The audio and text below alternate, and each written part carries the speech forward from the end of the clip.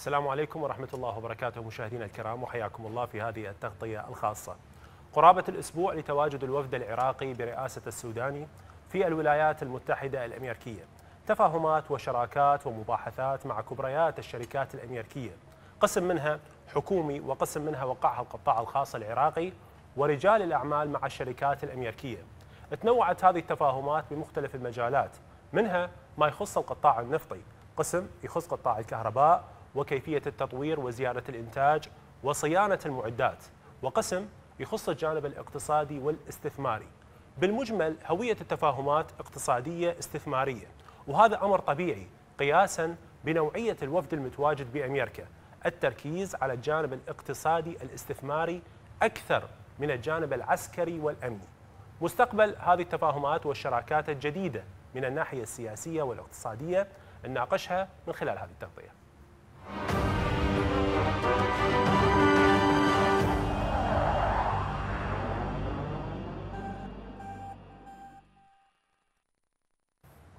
نرحب بكم مرة ثانية ونرحب كذلك بضيوفنا بالاستوديو الدكتورة نداء الكعبي رئيس مركز أخبار وطن وكذلك نرحب بالأستاذ حليم سلمان الكاتب والصحفي. رحب بكم مرة ثانية ضيوفنا الأكارم. دكتورة نداء بداية مع قرب نهاية هذه الزيارة. نعم. شلون تابعتي هذه الزيارة؟ أهمية هذه الزيارة بالنسبة للوضع العراقي نعم. قياسا بالشخصيات اللي التقى بها رئيس الوزراء.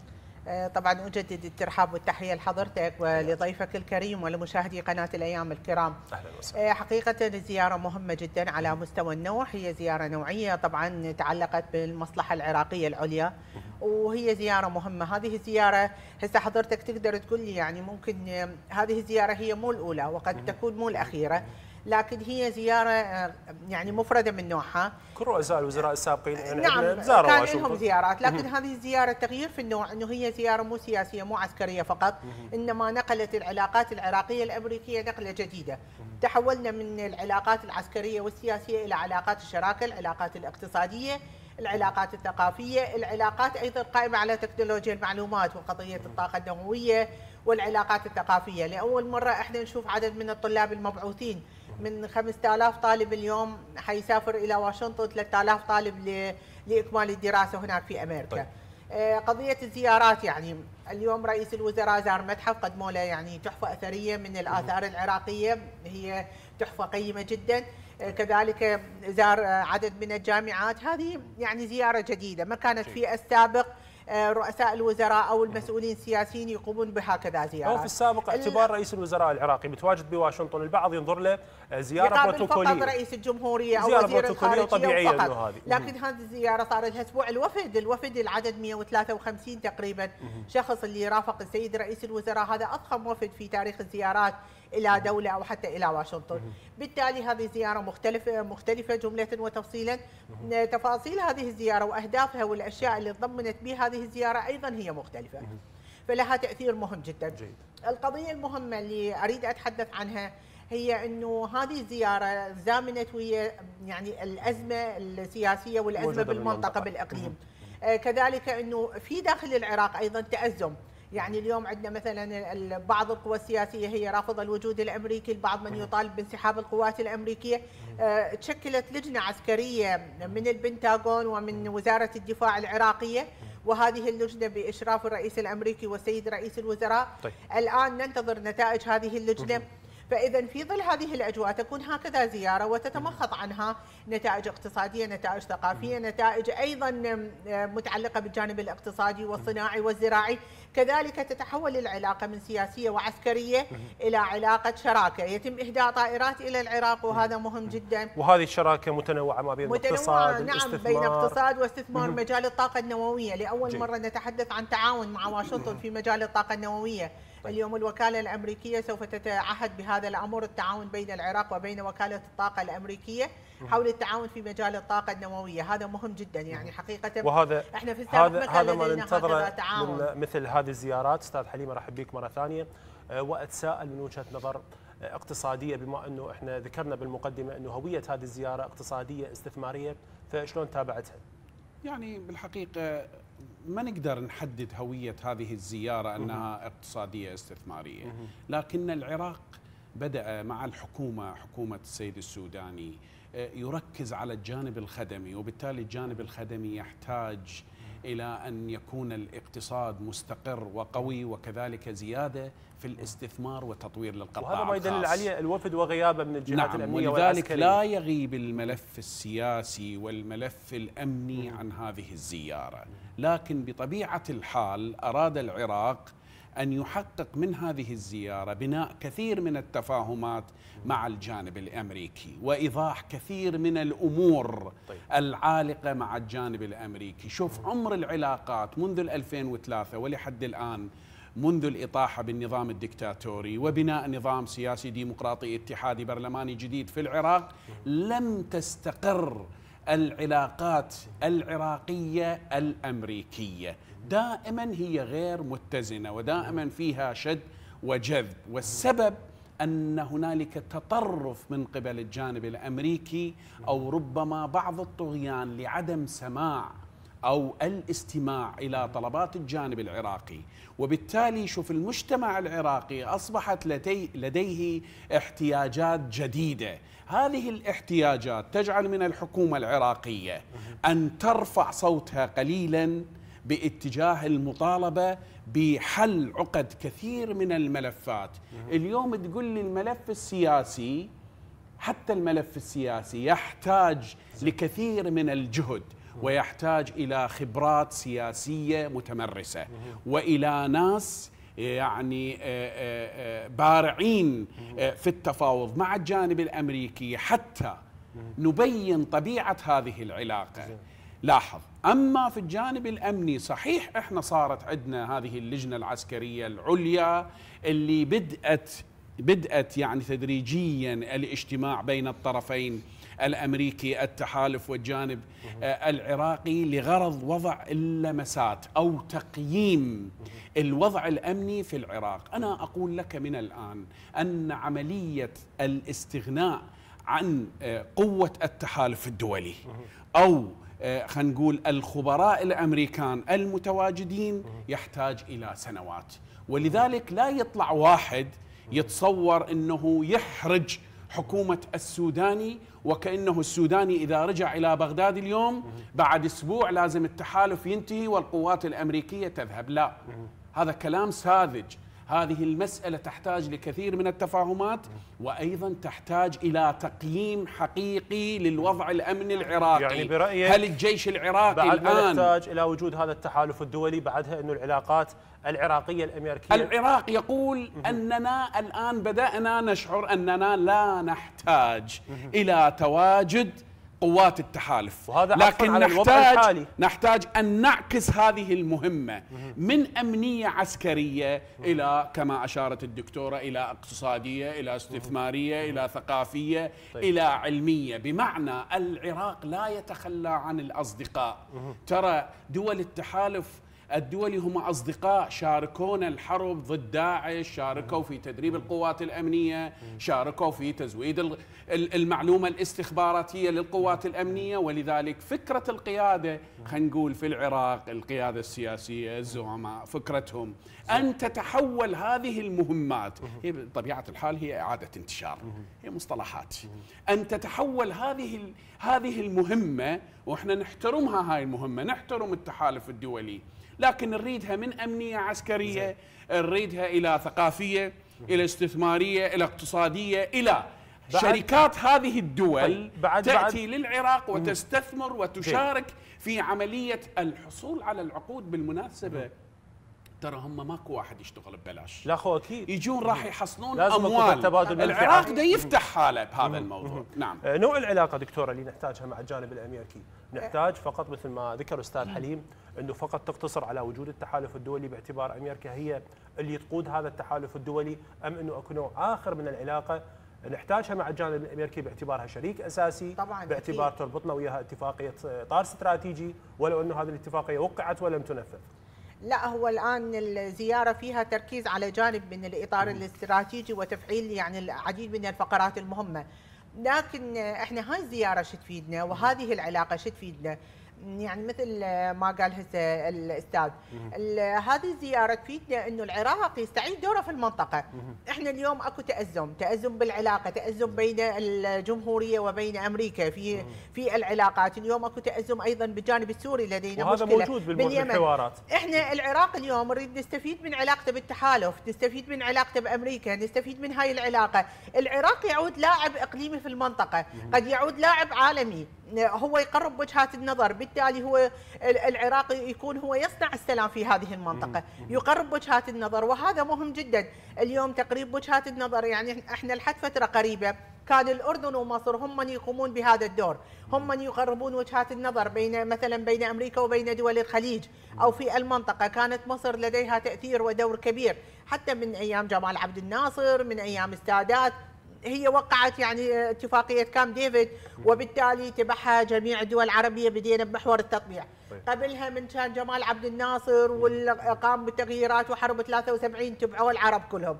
فبالتالي العراق اليوم إذا يعني يرجع دوره الإقليمي دوره العالمي هو يكون حمامة السلام هذا من يقرر هو اللي يقرر وجهات هذا يقرر العراق للمباحثات والتفاهمات مع الجانب الامريكي اليوم وعودة العلاقات الدعم مره ثانية. العلاقات الدعم الأمريكي للعراق يكون نموذج في المنطقة نموذج هو في بنية تحتية نموذج للسلام نموذج للديمقراطية نموذج أيضا للثقافة. وأنا أركز على الجانب الثقافي والجانب العلمي مهم جدا.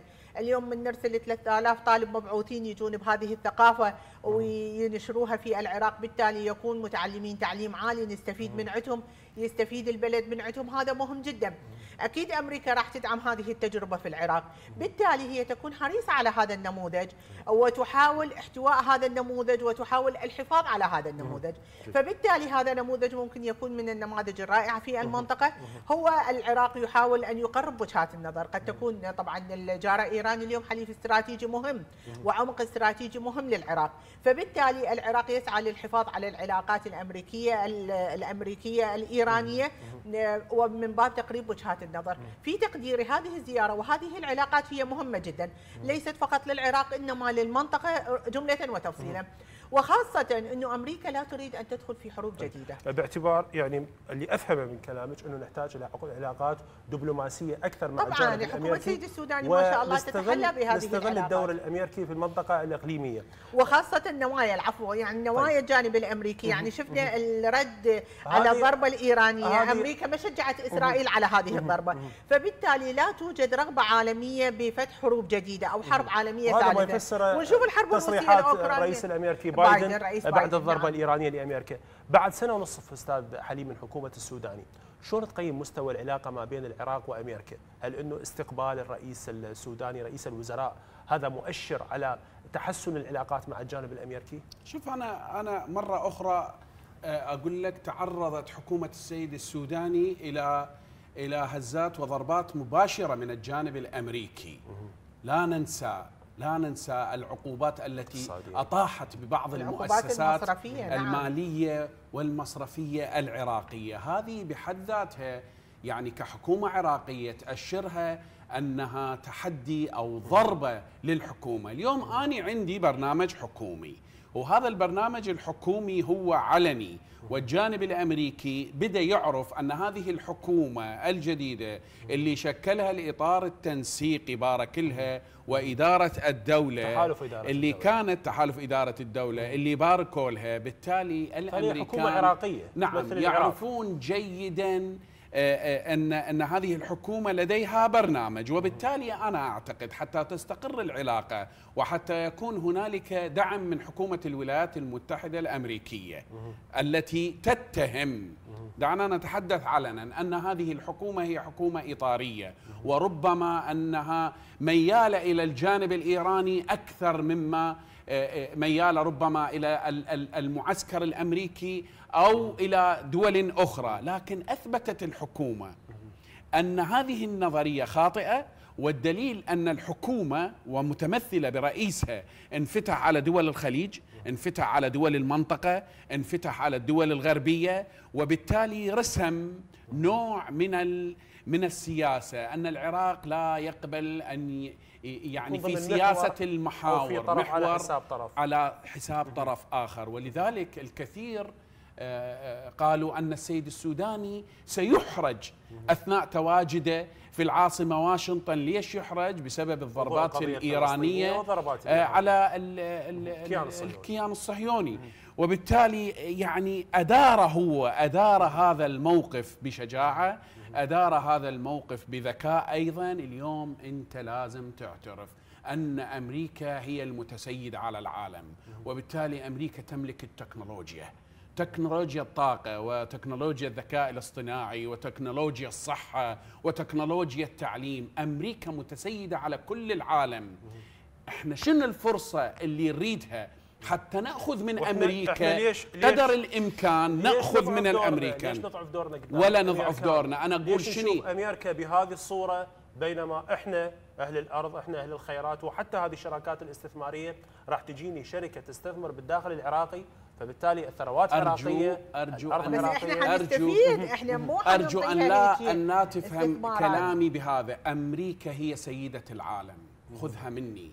أمريكا هي سيدة العالم. سيدة العالم بما تملكه من قدرات وإمكانيات. لذلك إحنا العراق هذا البلد اللي بيه النفط وبيه الغاز وبيه البتروكيماويات إحنا إيش قد عندنا نعم. إمكانية أن نقيم علاقات جيدة ونعطي تطمينات إلى الأمريكي أن يأتي مستثمرا إلى الديار العراقية. شنو دكتورة نداء نوع نعم. العلاقة اللي نحتاجها مع الجانب الأمريكي. نعم. ما أنا إذا ابقى علاقه علاقة مستقرة بعيدة عن ممارسة علاقة مستقرة تقوم على احترام سيادة العراق واحترام شعب العراق وبالتالي لا يمكن السماح لأي دولة أخرى أمريكا أو غير أمريكا أن تمارس ضغطها. ربما خلينا نقول هذا الضغط اللي اللي يسبب الخناق للاقتصاد العراقي يسبب الاختناق للشعب العراقي يسبب الاختناق حتى للسيادة فهذا العراقية. فهذا العلاقه تحتاج كان عندنا إحنا عقوبات مصرفية لحد وقت قريب. يعني آه، فرضتها عندنا أكثر من 30 نعم. مصرف فرضها البنك الفيدرالي رأس المال الياباني اليوم الدول يعتبر العراق بيئة طاردة للاستثمار فمن يجوا يستثمر عندك بالعراق بهالعقوبات. اليوم من نكون شراكات مع مع المصارف الأمريكية مع الشركات الأمريكية. كبريات الشركات تأتي وتستثمر في العراق هذا يشجع كبريات الشركات الأخرى أن تأتي وتستثمر في العراق. مع الجانب الأمريكي.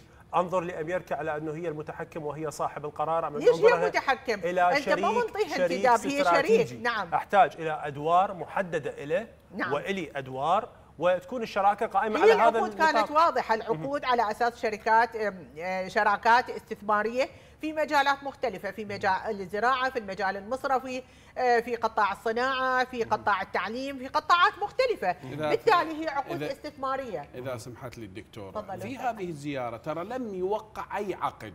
تفاهمات. وقعت مذكرات تفاهم, تفاهم سوى عقد تفاهم. واحد آه، مع آه، شركة للكهرباء راح تسوي لنا أعتقد محطة للطاقة الكهربائية 3000 ميجا وات ولذلك أقول لك الأمريكان مو سهلين.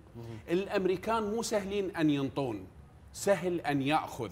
لذلك هنا راح تنجح. راح تنجح. تسمحي لي دكتورة راح إلى أي مدى راح ينجح السياسي العراقي أو الزعماء أو الحكومة العراقية؟ في ملء كثير بطونهم بالصبر على الأمريكان حتى نجر الأمريكان إلى منطقه العراق إلى منطقة الاستثمار. هذا هذا نحتاج إن إحنا نعطيهم تطمينات طيب. إلى الشركات وحتى إلى الفاعل السياسي نعم أن يجي نعم للعراق يشوف العراق بلد مختلف. هذا اللي تماما لازم تتغير النظرة. نعم. شنو اللي يحدد هذه النقاط؟ شلون اليوم لازم أستفيد من الجانب الأمريكي؟ بما أنه اني أعرف انه الجانب الامريكي عنده خبرات بمجالات أنا يحتاجها الطاقة آه، النفط وتأمين النفط وغيرها من الأمور. فشلون لازم استفيد من هذا الموضوع؟ آه، طبعا هو رأس المال والشركات الاستثمارية تحتاج بيئة آمنة، إحنا مو جاية الشركات نروح نضربها أو نروح نسوي مشاكل ويا هذه الشركات، يجب أن يكون هنالك استقرار أمني، استقرار حكومي هذا مهم جدا. دعم العمل المؤسساتي، هذه الشركات تحتاج إلى تفعيل القانون وقانون الوضع الاستثمار. الوضع بالداخل مستقر اليوم أو لا؟ الحمد لله. يعني الوضع نوعا ما مستقر، آه، زيارة السيد السوداني أيضا سوف تغير الكثير من القناعات، بالتالي هي زيارة يعني تعتبر نصر للعراق الحمد لله. قد تغير كثير من الأمور يتغير الجانب الأمريكي في الجانب المصرفي. إحنا اليوم متضررين بالجانب المصرفي والجانب الاقتصادي. فممكن رجعة السيد السوداني مع الوفد المرافق له تكون هنالك تغييرات. أكو تغيير أكو على سعر الصرف. بالدولار قد تقلل هذه العقوبات. وترفع هذه أكو تأييد العقوبات. سياسي لهذه الزيارة أكيد. من كل المكونات السيد الداخلية. السوداني هذا شو راح ينعكس على نعم مخرجات السيد الزيارة؟ السوداني باعتباره هو رئيس الوزراء وهو يعني يمتلك القرار التنفيذي في العراق. لكن مع ذلك في تقديري إنه من الحكمة والحنكه والحرص على التهدئة. هو أخذ تطمينات إقليمية وكذلك داخلية حتى قرر أن يسافر إلى واشنطن. جيد. وهذه وهو محمل بالعديد من الرسائل. قد تكون هنالك رسائل خفية غير ظاهرة أو غير معلنة في الإعلام. طيب. غير الرسائل التي ظهرت. أستاذ حليم العراقيين هواي متفائلين بهذه الزيارة. تشوف هذا التفاؤل طبيعي منطقي لو إنه لازم نعرف إنه هذه الزيارة شنو راح تنطينا شنو راح ناخذ من عندها ونتعامل وياها بواقعية أكثر. يعني هو بطبيعة الحال أي انفتاح عراقي على دول الغرب أو دول الشرق يعني هذا الانفتاح بحيث يخرج العراق من محليته إلى الخارج هو فعل جيد. يعني إحنا ما نريد نقول نتفائل لو ما نتفائل زين. نقول عندنا ثقة بهذه الحكومة أن يعني تنفذ لنا احتياجاتنا إحنا العراقيين. ولذلك أنا أشوف يعني جزء كبير من جدول هذه الزيارة ركز على الجانب الاقتصادي والاستثماري وكذلك ناقش موضوع العقوبات. أنت تعرف وقعت عقوبات على أكثر من ثلاثين مصرفا عراقيا. السيد رئيس الوزراء التقى بوكيل وزارة الخزانة. الخزانة الأمريكية المتخصص في هذا الجانب منطقة الشرق الأوسط وشمال أفريقيا هو هذا عليه وكان كان ال- يعني الكلام صريح جدا وياه. نعم الرياكشن يعني رد الفعل العراقي قد تكون إحنا هنالك تفائل ربما هنالك حلول أنا نستفيد أقول لك؟ حتى لا حتى تكون المعلومة الآن كنا نتحدث أنا وحضرتك قبل البرنامج عن أنه لازم يصير عندنا صناعة محتوى إعلامي آه، آه، يتحدث بالحقيقة. الحقيقة الموضوع يحتاج إلى وقت طويل. الأمريكان لا يعطون الأمريكان دولة مؤسسات. لا بايدن معلوماتك لا بايدن راح. أقول لك شغلة. لا بايدن ولا غير بايدن راح يعطي أمر إنه فكوا أو ما تفكوا لا هو قرار إدارة. أمريكية مو قرار أشخاص. هنالك مشروع دعني أتحدث بهذه المعلومة. هنالك مشروع حمله السوداني إلى الخزانة الأمريكية والفيدرالي.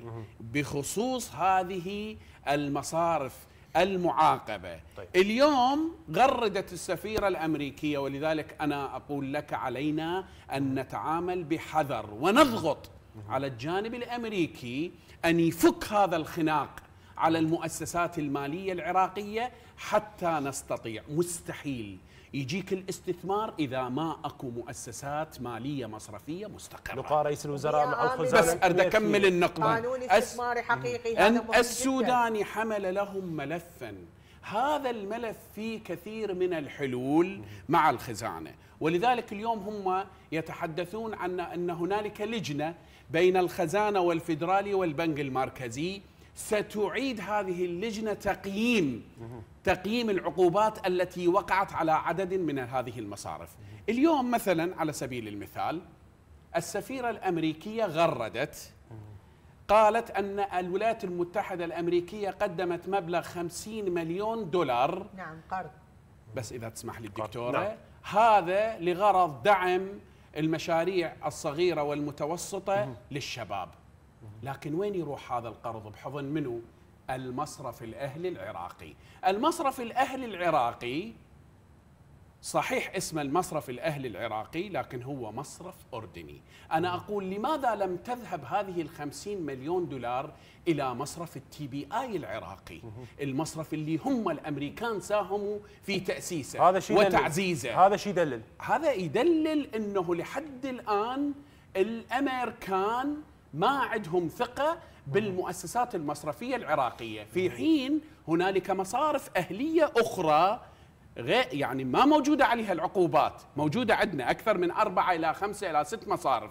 أقول إيش معنى ما راح هذا المبلغ ال 50 مليون دولار إلى مصارفنا حتى نحركها. حتى الجانب الأمريكي يشعر الجانب العراقي إنه المصرف اللي ما طالته العقوبات إحنا عندنا مصدر ثقة. فاني فاني دكتورة بس بس سمحي لي. فأني شلون شلون عفوا أستاذ حليف فأني شلون أثق بالجانب الأمريكي؟ كحليف استراتيجي وهو بهذه النقطة مثلا تعامل بهذه الطريقة. مو هي مو المشكلة بالجانب الأمريكي هنا. أنا يعني قد أختلف ويا أستاذ حليم.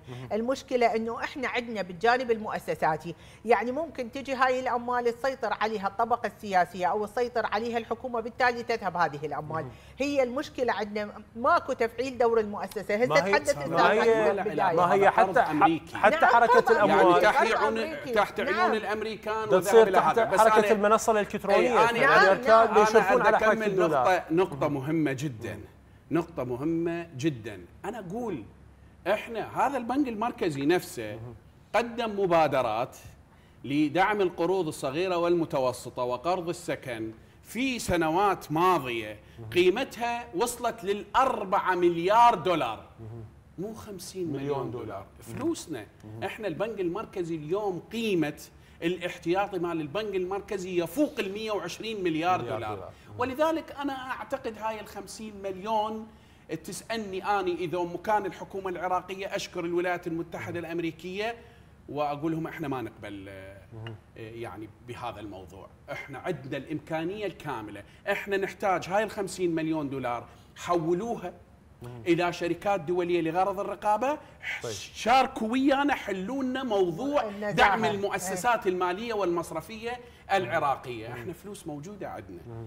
بالتالي هاي الحركة يعني إحنا اليوم في برنامج مهم. بدنا نتكلم بحقيقة. الآن يمكن السيد الرئيس الوزراء يمكن آه، طار هسه بالطيارة رجع للعراق. نحن نتمنى جميعا كعراقيين أن تكون نتائج هذه الزيارة مثمرة ويستفيد من عندها الشارع العراقي ويستفيد من عندها الشعب العراقي طبعا أكيد طيب أكيد. آه، واحدة من النقاط الأساسية اللي ركز عليها رئيس الوزراء وأرجع مرة ثانية طرحتها في بداية التغطية نعم. موضوع اتفاقية الإطار الاستراتيجي. نعم. هذه الاتفاقية اليوم مش قد راح تحقق؟ آه، من أهمية بالنسبة للشعب العراقي بما أنه هذه الاتفاقية تقريبا 12 قسم آه، بها هواي نقاط وهواي نعم أقسام نقاط مختلفة وكبيرة مختلفة وحتى الجانب الاقتصادي بها معالجات وشراكات مع الجانب الأمريكي. هسه هي الاتفاق الإطار الاستراتيجي حتبتدي تتفعل تشكلت لجنة من وزير التخطيط ومن وزير الخارجية الأمريكية بمتابعة من الرئيس بايدن والسيد رئيس الوزراء. بالتالي راح تتم تفعيل الأبواب هي تقريبا من 12 باب مكونة بها العديد من الفقرات الكثير من الاتفاقات لكن طيب. يتم تفعيلها شيئا فشيئا. هسه عندنا اتفاق الإطار الاستراتيجي. هذه اللجنة واللجنة العسكرية المتعلقة بانسحاب القوات الأمريكية يعني قوات التحالف من العراق. الآن لدينا لجنتين.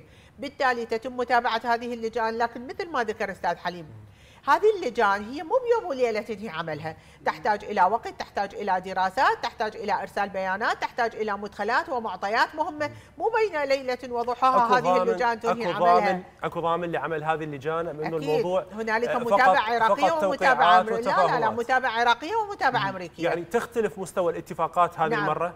آه، يعني بالنسبة للجانب العراقي وزير التخطيط يتابع من قبل رئيس الوزراء تم اختياره على رأس يعني هي اللجنة آه، بالاتفاق الإطار الاستراتيجي. آه، كذلك اللجنة العسكرية هي من وزارة الدفاع كذلك من قوات التحالف. طبعا هنالك متابعة هنالك خلافات اختلافات اتفاقات. يعني عمل اللجان هو ليس طريق معبد بالورود ويتم الاتفاق على جميع الأمور. هنالك أكيد تفاصيل. هنالك تظهر بعض المفاجآت بعض التفاصيل. الجانب الأمريكي قد يتشبث ببعض الجوانب وتعودنا عليه هو مفاوض شرس وقوي. لذلك إحنا أيضا نعتمد على المفاوض العراقي نتمنى أن يكون قوي ويعني بمستوى الأمانة لأن هذه آه، مصير بلد. وهذه اليوم مصير شعب أيضا. بالتالي نحن نعول على هذه الاتفاقيات. هنالك الشعب العراقي والشارع العراقي ينتظر هذه النتائج. طيب. اليوم الشارع فرح بهذه الزيارة حقيقة.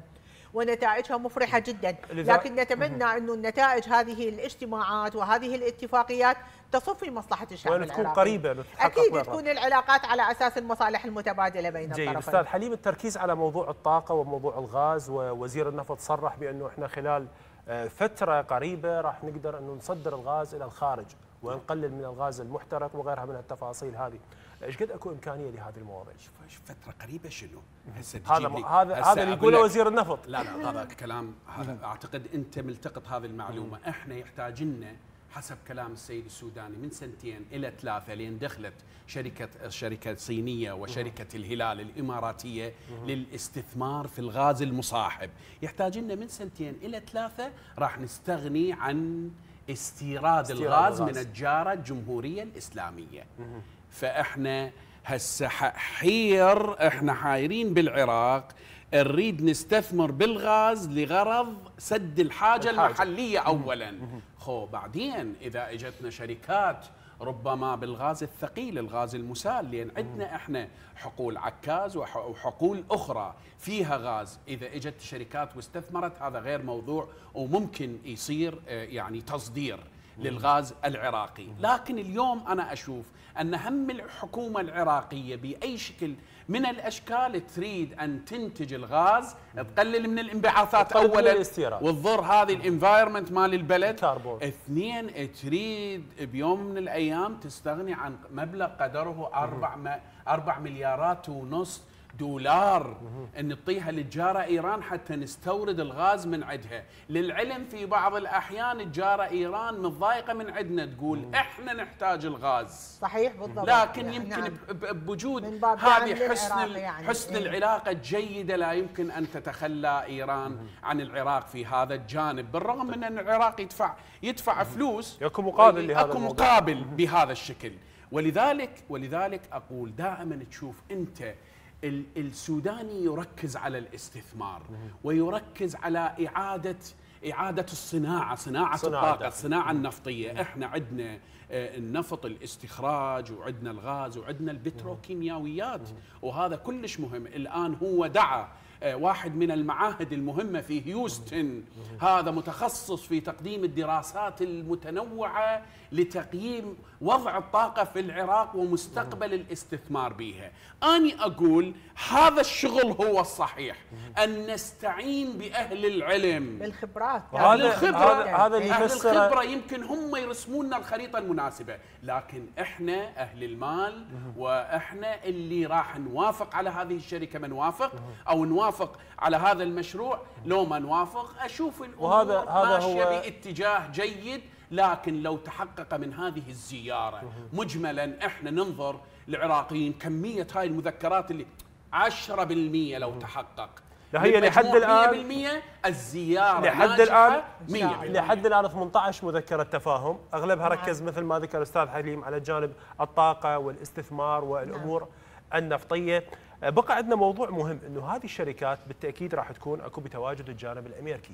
من هنا راح يحدد مساحة الجانب الأمريكي وحجم تدخله بهذه المواضيع ومنطقة فرض الإيرادات ما بين العراق وأمريكا؟ يعني الاتفاقات وأكيد الجانب الأمريكي يعني يحترم بعد سيادة العراق، اليوم هذه الزيارة هي نقلت العلاقة العراقية الأمريكية من سياسة عسكرية سياسية علاقة عفوا سياسية عسكرية إلى علاقة شراكة، علاقة اقتصادية قائمة يعني بالشكل الأول على الاقتصاد، فبالتالي لا يمكن شركات اقتصادية جاية تتحكم في الجانب السياسي، هذه الشركات ورأس المال جبان يريد أن يستثمر، يريد بيئة آمنة، يريد أن يعمل، بالتالي هذه الشركات أيضا لا تريد أن تضيق النطاق على العراق والعراقيين وهي تكون ضيف ثقيل عليهم، تريد أن تعمل، تريد أن تستثمر، تريد أن تستفيد، كذلك عندما اليوم تعقد شراكة أو عقد استثماري مع العراق تريده نموذج لكي تعقده مع دولة أخرى، فبالتالي إذا كان هنالك مشاكل، هنالك محاربات، هنالك إشكالات، هذا تكون أيضا نقطة سلبية على هذه الشركات.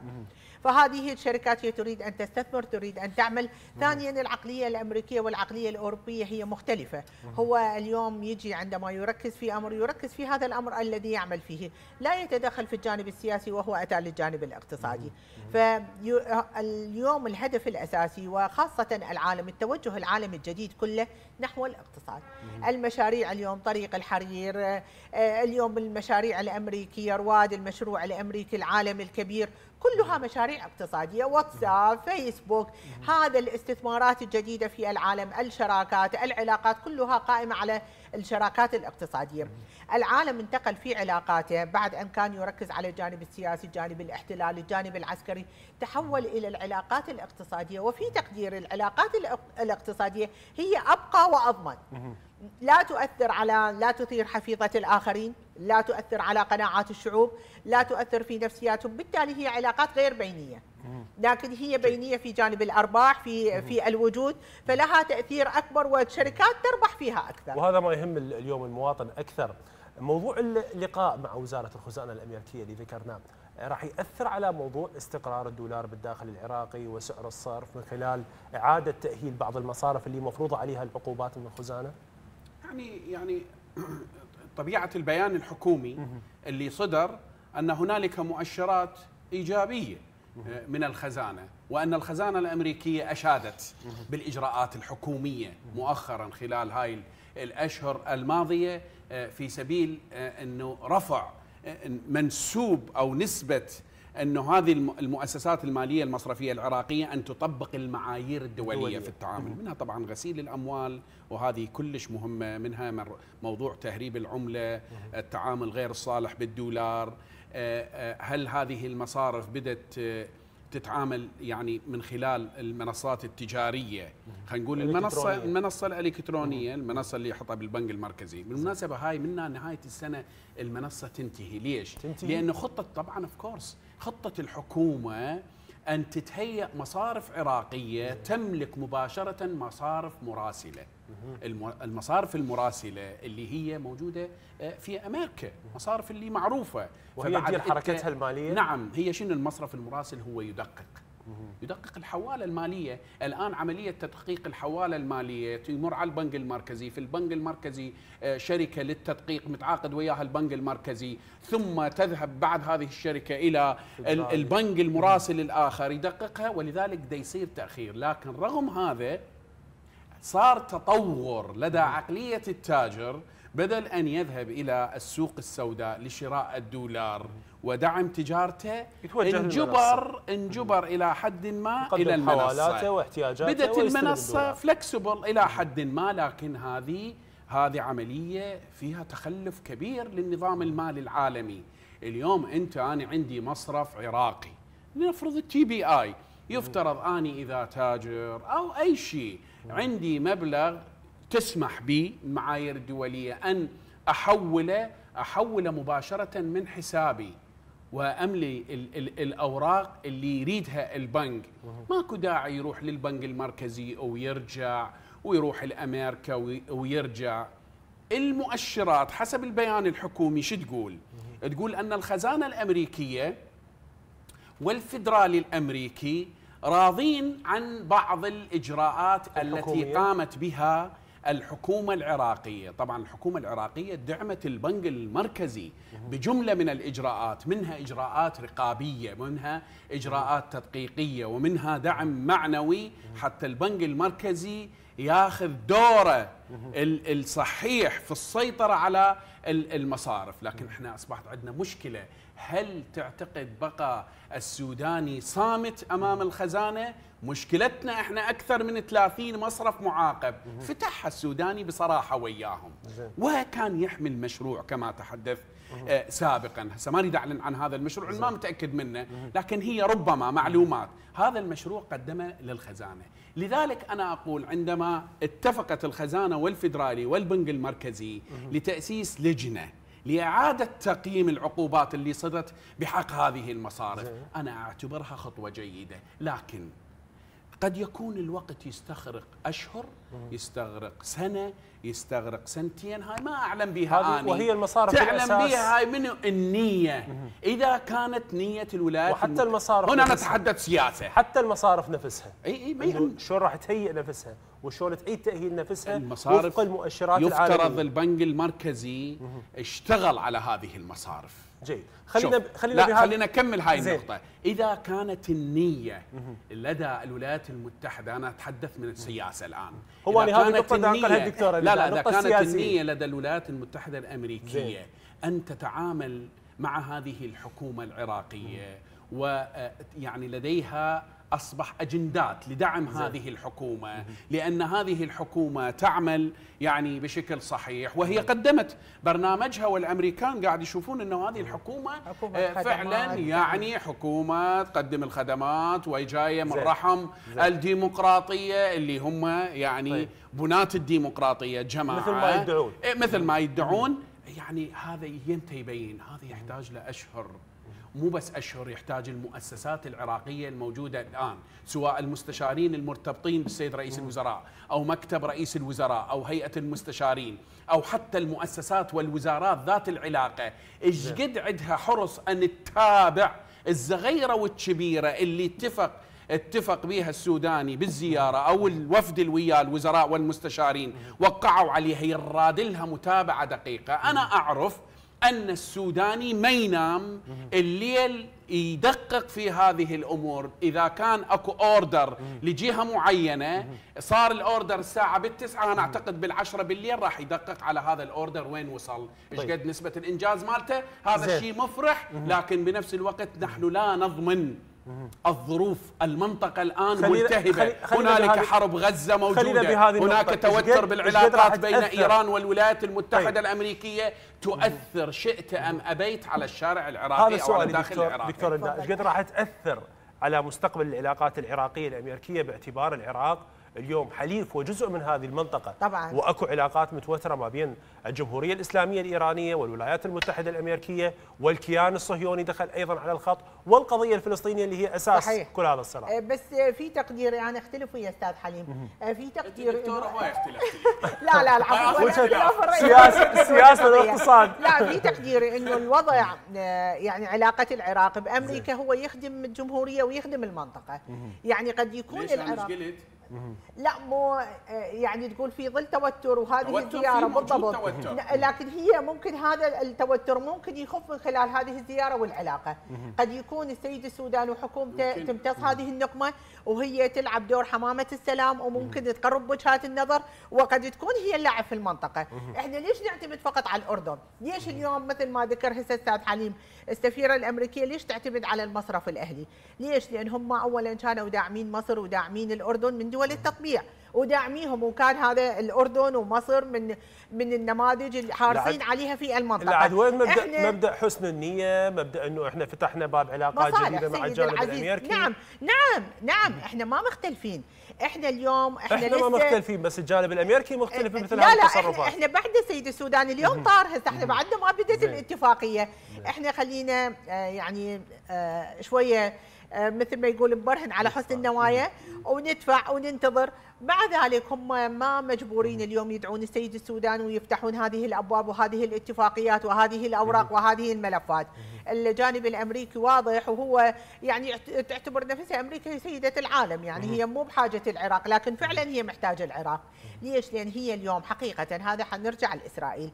آه، الأمن القومي الإسرائيلي أصاب العالم بخيبة وفشل. آه، أمريكا كانت تعتبر إسرائيل هي نموذجها في المنطقة في طيب. منطقة الشرق الأوسط قضية طوفان الأقصى أفشل للأمن الإسرائيلي. هذا نموذج ثبت ضعفه يعني ثبت ضعفه وفشلة. بالتالي هي تسعى إلى نموذج آخر يكون قوي في المنطقة. هذا النموذج يحقق لها الاستقرار في المنطقة وبالتالي يكون داعم لها. داعم لها مو داعم عسكريا. داعم للسياسة الأمريكية للديمقراطية الأمريكية. بالتالي من أجل أن تحافظ على مصالحها في في منطقة الشرق الأوسط.